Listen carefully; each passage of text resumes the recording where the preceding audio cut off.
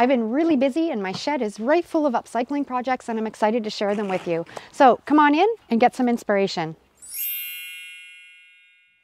Spring is finally here and I'm able to get out into my shed and work again. It feels fantastic, but my shed is full stuff that I've been working on all winter. I've kind of been piling in here and I haven't listed anything for sale yet. I sell everything locally and I'm ready to get going on that, but I wanted to share everything with you first so you can maybe see something that might inspire you or something that you might want to try and make yourself. So I'm going to show you everything that I have in here that I've made over the last little bit and I hope you're going to enjoy. Tin cans are probably one of my favorite things to upcycle and I certainly did a lot of those over the last little bit. This is one that I did some paper mache on and a custom homemade napkin. I just added some beads on the bottom. It's a perfect little place to put a faux plant. This is beautiful. I love this organic um, graphic and I just put a rusty mason jar lid on the top and the bottom. I have full tutorials on all these techniques. So if you go back in my channel, you can check all of those out. This was distressed with dirt and Mod Podge. Added one of my labels that was on a coffee stained piece of paper. And the bumblebee, these are all in my Etsy store also. I love this one and I just did a baking soda paint on this to give it some texture. These are all fantastic gifts or something that you can put a faux plant in or use it as a pencil and pen holder. So many possibilities, but these are some of my best sellers. If you want to put a real plant in them, I just drill a couple holes in the bottom and that gives you some good drainage and they look really pretty out on your porch or on a deck. This is why you never throw out any glass jars or bottles. These are all beautiful. I've given them a real primitive look. I did a live video where I did a lot of these so you can see the technique there. They're all made with graphics that I have in my Etsy store. And if you've joined my Patreon club for graphics, you will get these at a discounted price, 70% off. Or if you're a member of my channel, you'll get a discount code for 50% off. So if you'd like to join either of those groups, I'll put those links down below in the description. This one was just painted with some chalk paint. I have a full tutorial on how to paint glass uh, and it works fantastic. It won't chip, it won't peel. You can check that out and see how I do it. But I painted this with the chalk paint using that technique. And then I just distressed it with some instant coffee and it gave this real grungy primitive look. Added a coffee stained graphic on the front with some Mod Podge. And this is just an olive jar. This is one of my favorite graphics, the Busy Bee Organic Honey. Put some coffee stained um, cheesecloth on the top and did my primitive dirt technique on this. This is gorgeous. And I did the same technique on this one. Again, decoupaging on one of my graphics from my Etsy store. Ripping along the edges so it gives it a nice tattered look and then sealed it up with some polyacrylic sealer. And these are all really great sellers. Another technique, the same as the first one, and I like to sometimes just add a little ribbon on the top, or you can add some twine on the top also.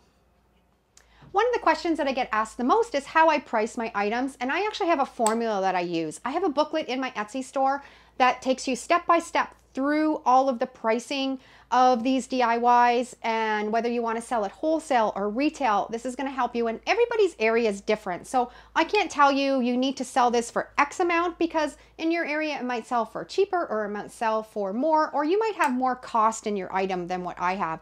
So this formula is really handy in this booklet. If you want to grab that, I'll put that link down in the description. And that's how I price all of my DIYs using that formula. DIYs don't always have to be hard. This was just a Bundt pan that I picked up at the thrift store, used some E6000 and glued on a bit of a spindle. And I have a really beautiful display bowl. Super simple, super easy. And you can look for these because you always will find them at the thrift store. Another thing that sells really well for me are these spindles. These are just bits and pieces of spindles that I've drilled a hole in the top, added some wire, and they look really pretty just hung up on any decor in your home. I've done some yellow ones and you can do them in so many different colors or just leave them the wood color. But I always have all kinds of little bits and pieces of spindles. And like I said, they sell really well for me. These are wine bottles that I've painted with my homemade white chalk paint. And then I have done the reverse technique on them and with the Mod Podge and my graphics. And then this one, I just painted a little bit of acrylic paint on top of that bee to give it a pop of color. These sell really well. And this one's a heaven quote, and I make all kinds of these. They're really popular. Now, underneath all of these dried flowers, I got quite a bit in here. These are ones that I've just dried over the time, and I'll stick them into DIYs. If we get down here, you can see it's an old teapot and I've just used my Cricut and I've cut out a graphic using some permanent vinyl and added it onto the teapot. And it's a great way to display kitchen utensils or you can put a plant in it. Or for me, you can put in a old skate guard and some dried flowers. Now I'm going to show you the same graphic that I used on this bottle. I did a different technique and added it to a candle that I picked up at Michael's. I took the label, the original label off it from Michael's, and then I added this one. This is a fantastic transfer method using label sheets and shelf liner from the dollar store. And I'll just show you, it kind of creates like a sticker that you can stick on glass and add it to your DIY projects. This is a really fantastic technique. If you haven't tried that one, give it a try. These sell fantastic. One of my favorite graphics, like I said before, and you can always pick up even candles at the thrift store that have not been used and do this technique on and make a little bit of extra side money. Did you see this video where I upcycled this hanger into a primitive piece of home decor? I love this technique and it is just using some instant coffee and Mod Podge and making a grungy hanger to hang a piece of coffee stained paper that I printed a quote on. And you know all those spice racks that you always see at the thrift store? Grab them, upcycle them, and they hold craft paint perfectly. This is a pickle jar that I painted with my homemade chalk paint and then I added a graphic that's in my Etsy store of the cutest cow and I printed this off on my inkjet printer and I show you how you can do this without having the ink run and it works really great. Added a piece of, this is actually bed sheet that I coffee stained, tore into strips and I've been using them on my projects to tie on the top of jars or bottles. That's a really cheap alternative to uh, DIY ribbon. And this is uh, so simple to put together. This is one of my favorite signs that I've done in a while. I use the salt wash paint technique and it creates amazing chippy paint that you can use as a base on any of your signs. And this was just a piece of salvage wood that I had and I did this technique on it, added my Mod Podge reverse graphics. Looks fantastic. And the antique sign below, I used my packing tape technique to create that chippy finish underneath and then used my Mod Podge reverse graphics to add the antiques on the front. And this is definitely me. I'm a vintage junkie and this was just an old picture frame that I found at the thrift store. It had really dated varnish on the frame. So I used some oven cleaner to remove that. It left this great finish. Put a piece of wood in the middle, added my graphics. I love it. Here's some more bottles that I painted with the homemade chalk paint. Added some of my graphics doing the reverse technique. And these are also really good sellers and they're great to do up seasonally for Christmas, Easter, Halloween. So many possibilities. If you've been following along, you know that my favorite DIY to do and my favorite upcycles are salvage wood signs. All of these signs have been made with free wood using my own graphics. So much fun putting them together, but I have all kinds and I wanna make sure that you can see them all so you can find all kinds of inspiration. So I think what I'm gonna do, I'm gonna put on some fun music and I'm gonna show you all of these different signs. I hope you find some inspiration.